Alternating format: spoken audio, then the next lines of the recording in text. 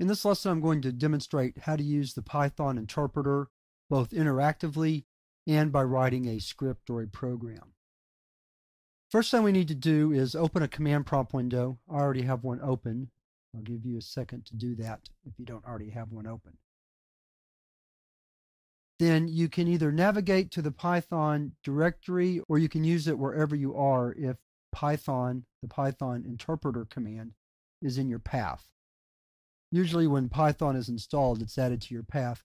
I like to work in the directory just because I like to save files there. So I'm going to navigate to the Python directory.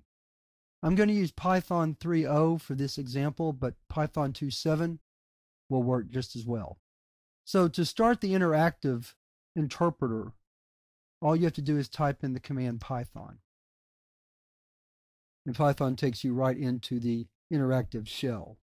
The shell lets you type Python expressions of all different types. So for example, I can type a number and that number evaluates to itself, typical literal expression. I can type an arithmetic expression or a numeric expression, and Python will interpret that correctly. We can also print strings. So I'll print hello world. Notice how I do that. The print command requires its argument to be in parentheses. And because I'm printing a string, I put that in quote marks, and you can use double or single quotes. Let me show you what I mean. So that works. And single quotes work just as well.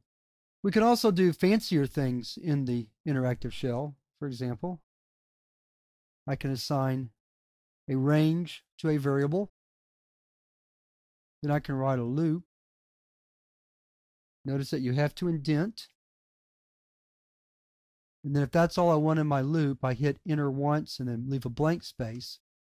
And then notice on the second enter, it lists my numbers 1 through 10, which is the range I defined in this range statement right here. Let's do a little fancier example of the same thing. Declare variable sum equal to 0. There's a mistake.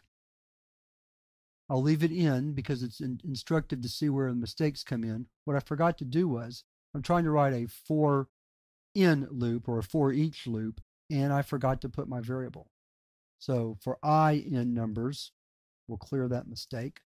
Be sure to indent. This time we're going to add each number in the range to sum.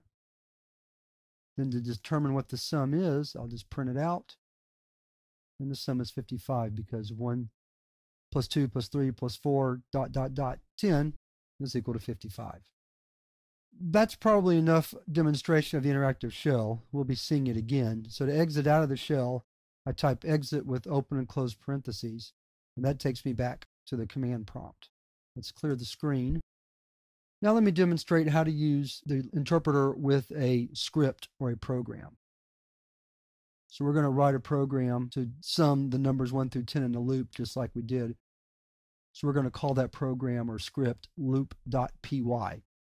I should mention that I'll use the terms script and program interchangeably, and a script is a program and a program is a script. So either one works fine.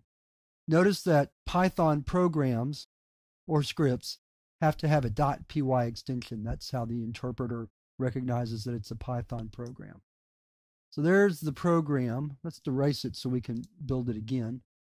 Let me put that notepad screen in full view here. There we go. All right, so what we're going to do is we're going to essentially rewrite that program. So sum equals 0, numbers equals range 1 to 11 for i in numbers. And notice that we use a colon to indicate the beginning of the loop body. We'll be discussing that more in the course. Then we're going to say sum plus equal i to add each value of numbers to the sum. And notice that to indicate the body of the loop that we indent. So here I indented three spaces. You can pick the indentation that you choose. Then once we're done, we type print sum, and that will display our sum. So we click File, Exit, and Save to save the script. We can type loop.py, and the Python interpreter is automatically loaded, or If for some reason Python is not in your path, you can type Python loop py as long as you're in a Python directory and get the same result. So that's our overview of using the Python interpreter. We'll be using it more in these review lessons and you'll get a better feel for how it works. But I do encourage you, if you don't have a lot of Python experience or experience with interactive shells, to play around with the shell quite a bit to get comfortable with it. Even though I'll be writing programs or scripts primarily in this course, there are a couple of occasions where I use the interactive shell and it'll help you follow the lessons better if you already have some experience using the shell. But with that, we're ready to move on to the next lesson where I'm going to discuss how Python works with variables and data.